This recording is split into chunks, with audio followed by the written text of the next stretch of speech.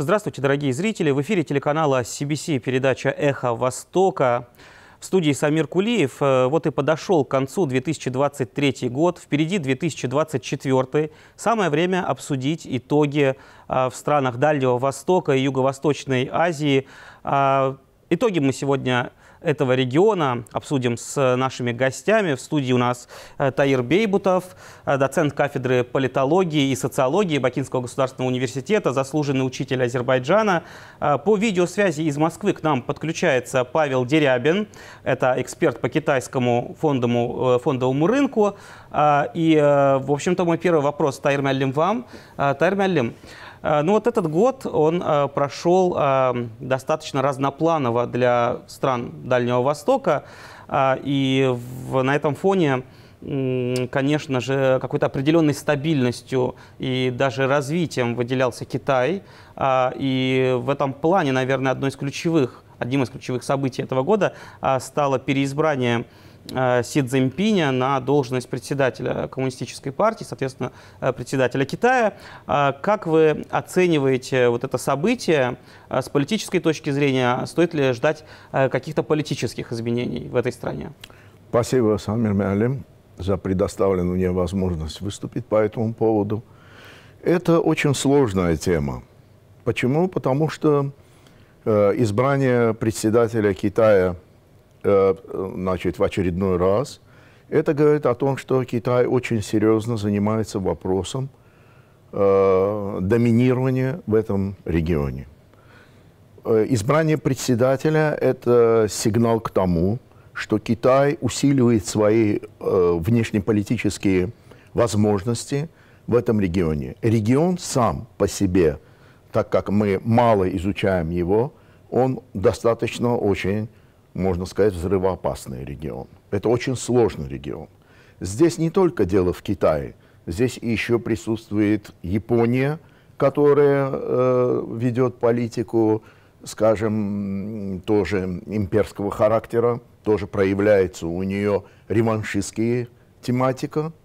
Э, здесь Южная Корея, которая имеет определенные противоречия со странами АСИАН, это 10 стран АСИАН, которые Япония в свое время очень сильно поддерживала.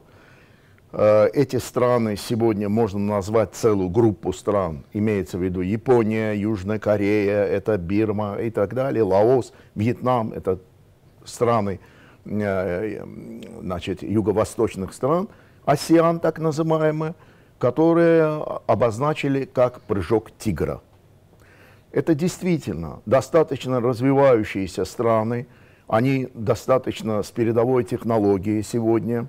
Благодаря Японии, благодаря Соединенным Штатам Америки, благодаря даже самому Китаю в свое время, они, их, так сказать, ну можно сказать, что их э, снабдили самыми последними технологиями. Дело в том, что Япония в свое время, э, значит, э, после Киотского совещания – хартия, экологическая хартия. После этого Япония пришла к выводу вывести по возможности все предприятия, которые фактически загрязняли окружающую среда, среду. Это как бы у них э, получилось вот э, э, такой принцип, что больше работать над технологиями, изобретениями, чем заниматься производством. Производство можно вывести в те страны, где, по сути дела, можно будет использовать их даже в том виде, в котором они были. Они, кстати, были не очень э, сверхсовременными. Они, да, действительно экологически были вредны, но тем не менее многие предприятия, большая часть предприятий Японии, которые являлись вот такими ну, загрязняющими предприятиями, были вывезены в эти страны. А там, в свою очередь, благодаря Китаю и благодаря западным технологиям, они их совершенствовали, и, так сказать, эти предприятия заработали в полную мощность. И сегодня эти страны очень даже, я скажу, э, лидируют в экономике мира.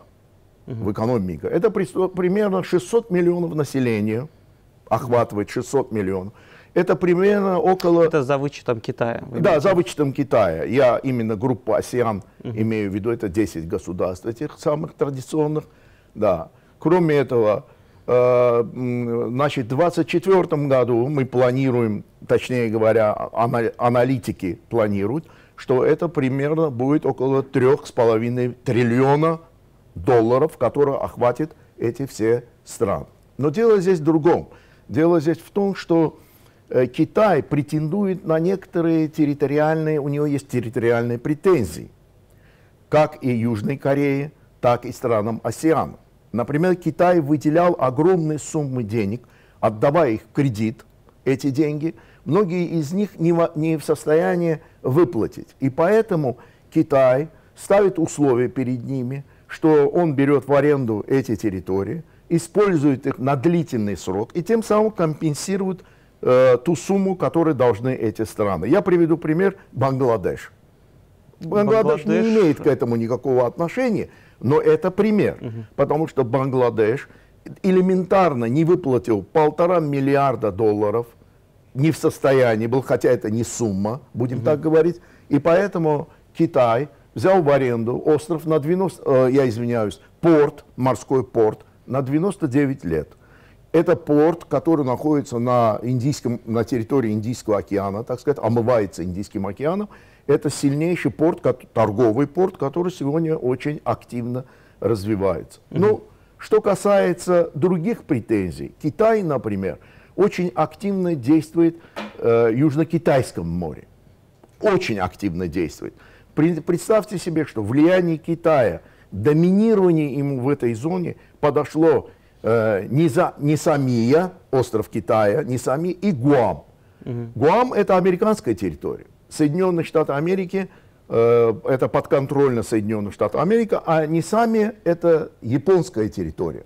И вот представьте себе, что Китай приблизился к ним, находится абсолютно в самом не, недалеком расстоянии от них, угу. и тем более значит, э, представляет определенную угрозу. Я должен сказать, что Китай старается со странами АСИАН вести очень ровную политику, но в то же время, в то же время это финансовая экспансия, это торговая экспансия, она присутствует. Ну, у Китая есть свои стратегические интересы. Вот вы говорили об экономике э, Китая и вот этих э, группы стран, э, дальневосточных, юго-восточных. И здесь вы затронули ситуацию, когда у Японии часть производственных площадок находится за пределами Японии. В Китае, насколько мне видится, ситуация противоположная. Большая часть, конечно же, производственных площадок находится внутри страны. Лучше, я думаю, об этом нам расскажет Павел Петрович Дерябин. Павел Петрович, э, еще раз приветствую вас. Э, вот э, экономика Китая, она действительно очень стремительно растет. Это то, что мы видим по внешним показателям. То есть вот на 5% э, как минимум э, известно, что в этом году будет э, увеличение внутреннего валового продукта. Э, в целом, э, вот если сравнивать даже с Соединенными Штатами Америки, традиционно сравнивают с этой страной, э, в США, например, рост ВВП составит всего 2% по э, версии аналитиков.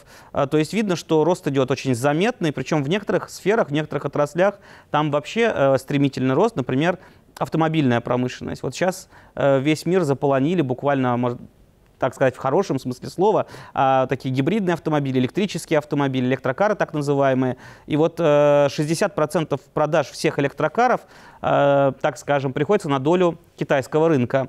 И вот только в этом году, мне что удивило, эта цифра очень сильно, что рост производства электрокаров составил от 30 до 40% в Китае. Согласитесь, а, наверное, для производства, для любого такие цифры, они просто э, ошеломляющие. Как вы думаете, с чего нам ожидать дальше от Китая? К чему этот э, стремительный рост может привести? Ну, на самом деле, да, цифры впечатляют и показывают ежегодный рост. Но, как вы понимаете, это, в общем-то, связано с э, тем, что китайский рынок, он э, достаточно молодой. Скажем, до начала 80-х годов он представлял себе достаточно ну, если не жалкое зрелище, то э, Китай у нас э, точно относился к странам третьего мира. Э, вот то, что происходит сейчас, это нужно смотреть всегда в некой динамике. То есть вот за последние годы темпы роста, они большие, но они уменьшаются год от года, и коммунистическая партия с этим активно борется, они стараются эти темпы роста удерживать, как-то увеличивать, стимулировать. Но в последнее время с этим, конечно, возникли серьезные проблемы. Что касается вот промышленного роста, то здесь нужно понимать, э, что западные страны тоже не сидят сложа руки, да, они наблюдают за этим ростом, и они получили четкий сигнал из Китая о том, что, в общем-то, этот рост э, идет на пользу только Китаю, а не, скажем так, западному сообществу. Поэтому нужно на эту на эти темпы, на показатели, на цифры смотреть всегда с некой долей э, правильного, так сказать, восприятия, что ли, да, то есть смотреть на общую картину. Общая картина выглядит так, что в ближайшие годы мировое производство, мировую экономику да, ждет серьезная реформация и, скажем так, э, технологичный прорыв, технологический, назовем его так. И в этот технологический прорыв э, Запад не очень хочет пускать Китай. Он хочет, чтобы Китай остался на тех же позициях, что и сейчас. То есть в этом новом мире как бы Китаю нет места, по мнению западных экономистов. Да, и все, что ему уготовано, это, в общем-то, производить автомобили прошлого поколения, строить э, инфраструктуру и так далее. В новом технологичном мире у нас будет несколько новых отраслей. Это в первую очередь там, квантовые компьютеры, продление жизни, э, создание э, высокотехнологичных производств, роботов, там, искусственного интеллекта. И американское и э, западноевропейское сообщество не хотят видеть Китай здесь каким-то конкурентом.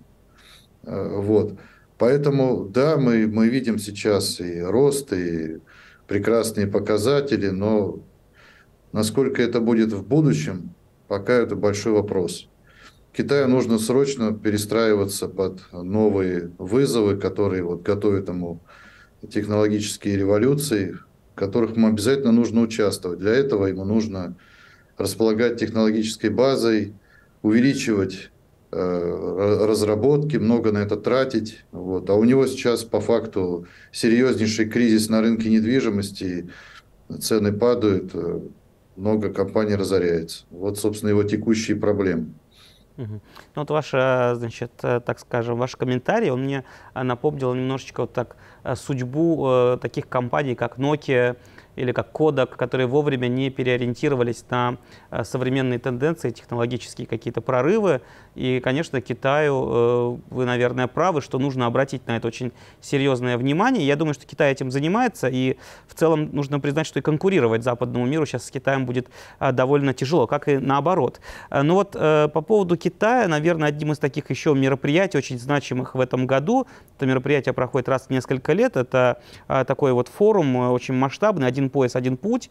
Он прошел в этом году, и одним из таких э, запоминающихся событий на этом а, форуме, на этом мероприятии стал э, приезд и визит э, в Китай Владимира Владимировича Путина, российского президента. Вот. И на это средства массовой информации всего мира акцентировали свое внимание. Как вы считаете, Таир Меллим, Э, вот эти транспортные, логистические, э, все, э, так скажем, направления, которые сейчас Китай активно пытается развивать, в том числе в этом ключе чиновники из Китая, приезжающие сюда в Азербайджан, неоднократно заявляли о том, что Азербайджан на этом пути является очень важным стратегическим партнером. Китая, насколько важно продолжать их развивать, насколько важно вот это восстанавливать, вот этот вот транспортные маршруты в рамках вот этого одного пояса, одного пути. Значит, э, дело в том, что Китай, когда э, встречался с Путиным, с Владимиром Владимировичем, значит, обсуждался этот вопрос, вопрос новых логистических направлений. Обсуждался этот вопрос. Дело в том, что у Китая есть определенные три мощные концепции для развития этих транспортных сообщений. Три мощных. Это, во-первых, это, значит, Южный морской шелковый путь. Он так и называется Южный морской шелковый путь 21 века. Это так и называется, эта концепция. Mm-hmm. Это прежде всего э, Южно-Китайское, Китай, Южно-Китайское море, это Индийский океан, это Африка, э, это Средиземное море и выход на европейские рынки. Это один вариант. Второй вариант – это Китай, Южно-Китайское море. Я почему акцентирую на Южно-Китайское море? Потому что там очень много претендует на эту территорию. Там соседи претендуют. Поэтому Китай хочет там доминировать. И в плане экономики, и в плане торговли, и в плане э, присутствия военно-морского флота. Я об этом еще скажу. Да. Хм. Это значит, второй вариант, это Китай, Южно-Китайское море, это Океания, это юг Латинской Америки и выход в Атлантический океан. Там уже, конечно, Европа и Гибралтар. Цель Гибралтар. Вот. И третья концепция – это Китай, это Северное Китайское море, это выход к Северному Ледовитому океану.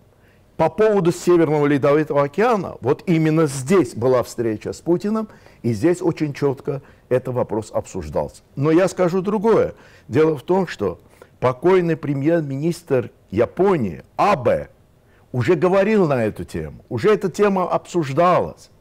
И когда обсуждалась эта тема, 27 раз они встречались с Путиным, 27 раз АБ премьер-министр встречался с Путиным. Обсуждался не только вопрос Курилов или, скажем, вот этих островов, да, архипелага, архипелага э, Курильских островов, но еще обсуждался и выход в Северный Ледовитый океан. Это так называемый Северный морской путь обсуждался этот вопрос. Что не понравилось Соединенным Штатам Америки, что не понравилось это, в свою очередь, Китаю, что не понравилось это, прежде всего, э, представителям Анзюса. Анзюс – это военно-политический блок, который покровительствует Австралия, Новая Зеландия, Соединенные Штаты, Великобритания. Это альянс, альянс, который был да, очень даже невыгоден для, для них. Вот. И, и что произошло? Значит, несколько было предложений. Официально было принято договоренность по поводу создания на Курилах э, свобод, зоны свободной торговли. Так? Да. Вот. Но не получилось. Не получилось. Угу. Абе ушел, через некоторое время э, его убили. То есть угу. вот эта идея, кстати, э, Абе э, выдвигал на пост премьер-министра своего заместителя по партии. И четко он его, так сказать, э, протежировал. Но в конечном итоге вот что случилось, то и случилось. Фактически его и застрелили на такой да, предвыборной да. агитации. Да, да, да, на предвыборной агитации. И эта идея, она по сути дела провалилась. Что касается Китая в этом вопросе, если вы позволите, я немножко шире скажу на эту тему. Почему? Потому что сегодня Соединенные Штаты Америки и Великобритания, как сказал Павел Петрович, о том, что Америка не заинтересована в развитии Китая в данном случае и стараются его как-то оставить на этом уровне, на котором он есть. Я полностью согласен. Почему? Потому что вокруг Китая, вокруг так называемого, ну я старыми терминами, антикоммунистического пакта, угу. потому что эта зона называется Красный дракон. Это угу. Северная Корея, это Россия, пусть на меня не обижаются, это Южная Корея, э, Северная Корея, Китай, Россия и сочувствующие. Это Вьетнам, это Лаос, это Бирма, это Камбоджа, это сочувствующие. Несмотря на то, что они в группе АСИАН, несмотря на то, что они сегодня под их, так сказать, это, но тем не менее, китайское влияние, это след Мао, понимаете? Это след Мао называется в литературе, так называется, след Мао. Это и есть. И посмотрите, они выдвигают сегодня единый фронт. Я не просто сказал, что существует блок Анзюс, у него есть подпитка Анспак, организация, это военная организация, которая, по сути дела, поддерживает создание атомного флота Австралии. Вы помните историю, когда Австралия э, заказала у Франции э, подводные лод, атомные подводные лодки? Проект не получился. Американцы надавили на Австралию, Австралия отказалась от этого заказа. И Соединенные Штаты Америки передали три атомные средние, среднего уровня, три атомные подводные лодки Австралии, а сегодня Британия, Соединенные Штаты Америки, Япония разрабатывают на территории Австралии новую мощную атомную подводную лодку, которая выйдет в 2045 году. И тогда они создадут свою собственную атом, Для чего это делается? Это делается для того, чтобы остановить вот это продвижение красного дракона. Тармалем, спасибо. Ну, вот вы вспомнили про отношения российского президента с э, Синдзо Абе. И действительно э, был момент, когда было ощущение, что договоренность по Курильским островам четырем Курильским островам будет достигнута. Этого не случилось, вы правы. Но вот сейчас вот ситуации, когда так скажем, произошел конфликт на территории Украины и до сих пор продолжается, э, многие считали, эксперты, что Япония попытается как-то военным э, путем э, забрать эти Курильские острова и так далее и тому подобное, но оказалось, что ситуация прямо противоположная. Нет, вот буквально недавно официальные лица Японии заявили, что нет, они хотят решать все эти вопросы миром, будут продолжать переговоры. И вообще в целом, несмотря на то, что какие-то санкции они вводили против России, России, они э, намерены э, продвигать нормализацию отношений с Россией и, соответственно, э, мирную повестку продолжать. В принципе, это очень, мне кажется, разумно, логично. Но вот касаясь Японии, Китай мы в целом обсудили. Хотелось бы вот вторую такую серьезную страну в этом регионе обсудить с вами, Павел Петрович. В общем-то, а, Япония столкнулась в этом году а, все-таки с некоторыми кризисами в сравнении с тем же Китаем. А, прежде всего, это политический кризис. Дело в том, что руководство Японии сейчас имеет очень низкий уровень доверия. К сентябрю месяцу он составлял чуть более 30%, и это вынудило премьер-министра Кисидо полностью обновить состав кабинета министров, то есть был он расформирован, собран заново, там появились новые лица. А, и причем это не единственная такая ситуация. Был очень серьезный конфликт с соседями, э, с той же Кореей, Южной Кореей, а, по поводу сброса воды, вот, э, сброса охлаждающей жидкости с э, атомной электростанции, как вы помните, Фукусима, на которой в 2011 году произошла авария. И вот с этой, в этой связи Корея заявила о том, что она потеряла буквально десятки миллионов долларов а, потому что рыба все-таки э, погибает вот в этих водах, э, куда был э, уже в несколько этапов организован слив вот этой охлаждающей жидкости. И показательный такой момент, запоминающийся в этом году, как раз стал э, тот момент, когда премьер-министр Японии э, демонстративно в ресторане поедал рыбу из вот акватории э, моря, океана, как раз вот э, вблизи Фукусимы чтобы доказать, что она не, э, нет в ней никакой радиации. Вот э, как бы вообще вот эту всю ситуацию вокруг Японии с Японией характеризовали бы в нескольких словах? Ну, если ее так вот большими широкими мазками пытаться обрисовать, да, то у нас, э, в общем-то, Япония намного сильнее вписана в мировую экономику, да, в производство высокотехнологичной продукции, Э, чем, допустим, Китай, да, там нет никаких ограничений. У нас э, в, этом году в Японии на фоне вот всех этих скандалов, связанных э, с, с тем, что происходит сейчас, мы видим, в общем-то, что в Японии находится несколько интересных проектов, которые в будущем могут оказать влияние на весь Тихоокеанский регион. В частности, вот э, туда переедут мощности, одни из мощностей тайваньского завода по производству чипов, тайваньский э, семикондукторский завод, да, называется. Э, и он также переезжает в Америку, я этим хотел сказать только то, что в Японии создается новый научный хаб, который, вероятно, будет идти в противовес Китаю и будет, в общем-то, в будущем играть более серьезную роль, такой форпост э, западного, скажем, мира и технологических революций, которые э, затем начнут менять э, устройство да, нашей цивилизации, скажем так. При этом, при этом то, что сейчас там происходит, это довольно серьезные внутриполитические изменения, которые, целью которых является, в общем-то, защита границы территориальных вод с соседями. Да, у нас э, есть претензии со стороны Китая, есть постоянная угроза полета ракет из Северной Кореи, каких-то провокаций. Э, поэтому Япония у нас, в общем, находится под постоянным давлением. И угроза, в общем-то, реально достаточно.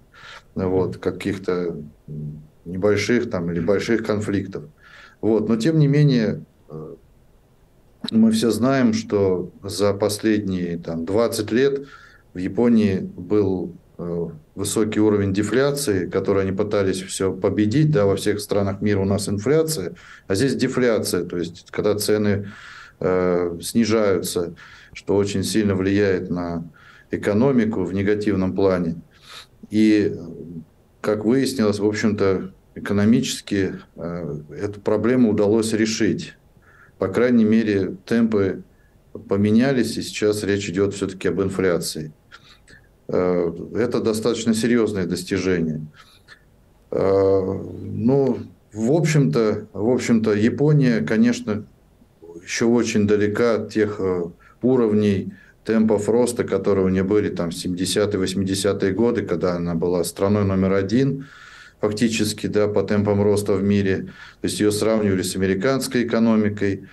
А мир был заводнен э, японскими туристами. Э, в общем, страна активно развивалась. Это, в общем-то, хороший пример для Китая, чем может все закончиться, если они не смогут вовремя правильно выстроить свою экономическую политику на ближайшие годы.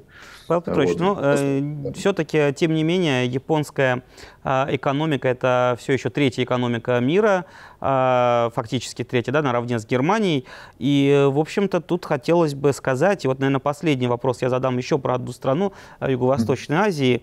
Э, этот вопрос вам, Таир. Э, это Индия. Дело в том, что она фактически ворвалась в пятерку самых крупных экономик э, мира, э, обошла Британию, Великобританию буквально в конце прошлого года. В этом году она добилась очередных каких-то рекордов, например, по численности населения обошла Китай, была успешная посадка лунохода, то есть космического аппарата на Луну, то есть это фактически четвертое государство в мире, которое сумело это совершить, и ряд других каких-то есть достижений. Э, как вы считаете, э, именно э, Индия в плане и политическом, и экономическом, насколько важная страна в регионе, насколько важно наладить, в частности нам в Азербайджане, отношения с этим государством? Вообще Они, в принципе, на очень хорошем уровне, да. хотел бы сказать. И исторически тут такой момент очень важный, что а, и в 50-е, и в 60-е да. годы первые руководители Индии, они неоднократно посещали Азербайджан, еще тогда советский Азербайджан, и, в общем-то, такие у нас исторические связи существуют с этой страной. Вообще традиционно вы правы абсолютно, что с Индией у Азербайджана есть очень хорошие и культурные связи, экономические связи, и в области образования – все это было, и мы помним, и мы когда были даже школьниками, к нам приезжали гости в школу, мы встречались с ними и так далее. Фильмы индийские для нас были действительно показательными фильмами. Это как бы, ну, даже нас в некотором смысле они воспитывали, в общем-то. Да, но дело в том, что современная Индия имеет очень проблемную ситуацию. Очень проблемную ситуацию. Мы знаем, что потенциал Индии очень высок. Мы знаем, что Индия набирает определенные темпы экономического роста. Мы понимаем, что в этом регионе Индия играет главенствующую роль именно в этом регионе. Но у нее есть проблемы, понимаете? Проблемы. Вот э, опять я возвращаюсь к теме значит, южноазиатской проблемы. Угу. Почему? Потому что у Индии самый главный рынок для стран Осиана, для стран, да, для Японии, для Австралии и так далее, это Индия. Угу. Это главный рынок. Там, где они могут реализовывать свои товары. Потому что Индия громадная страна с огромным числом населения и так далее. И все время есть потребности в, в определенных ну, материальных ну, в производстве материальных ценностей, будем так говорить. Где-то Индия успевает, где-то не успевает, и понятно, что Индия во много раз отстает и от Японии, и от группы АСИАН, и от группы АСПАК, и от Южной Кореи зависит, и от Японии зависит. И все в Индии будет нормально, при том, что если в этих странах будет мир. Мира, как правило, там пока нет. Например, я опять же вернусь к этому разговору относительно отношений между Японией и Южной Кореей. Это главные поставщики тех материальных ценностей, которые поступают в Индию. Это самое большое, это примерно около 75% всех товаров Южной Кореи и Японии поступают в Индию. В Индию. И вот посмотрите, между Японией и Южной Кореей нет согласия. И экономического согласия нет, и нет военно-политического согласия, и нет стратегического географического. В августе 23 года Байден в Кемп-Дэвиде собрал представителей Японии, руководство, руководство Японии и руководство Кореи и пытался их примирить. А почему примирить? Да потому что между Южной Кореей и, и не только Южной Кореей, и Северной Кореей, и вообще в целом Кореей, и Соединенных Штатов Америки существуют исторические противоречия. Угу. Это, во-первых, Япония называет Японское море, э, корейцы называют Корейским морем, а географическое название Восточное море. Да. Это раз. Остров Кото находится на территории Южной Кореи. Это после Второй мировой войны. На самом деле это исторический японский остров. И вот из-за этого идут вот эти проблемы. Кроме того, с 1910 года по 1945 год Япония колонизировала Южную э, Корею в целом. Да. Это они вывезли, они вывезли огромное число мужского населения в Японии, эксплуатировали, женщин вывозили для солдатских утех, так называемых. И сегодня Южная, Япония, э, Южная Корея требует материальной компенсации. И никак не могут вот этот вопрос решить, понимаете? Япония согласилась частично угу. выплатить какую-то сумму. Южная Корея от принципа отказались. Тайр но э, мы будем надеяться, что в следующем году э, вот подобные разногласия между этими государствами будут разрешены, потому что мир и даже в таком далеком для нас регионе это все равно мир, и он всегда при, приводит к каким-то позитивным изменениям. Э, к сожалению, время нашей передачи оно подошло к концу. Я хочу поблагодарить вас, Таир Меллим, поблагодарить э, Павел Петрович вас, нашим гостям Спасибо. напомнить, что итоги 2023 года для стран Дальнего Востока и Юго-Восточной Азии мы обсуждали э, с Павлом Дерябиным, это эксперт по китайскому фондовому рынку, а также Таир Малим Бехбутов, доцент кафедры политологии и социологии Бакинского государственного университета, заслуженный учитель Азербайджана. Э, встретимся с вами э, уже э, в новом году и обязательно будем обсуждать ситуацию в регионе Дальнего Востока, будем следить за изменениями. А я желаю вам, дорогие зрители, всего доброго и до новых встреч.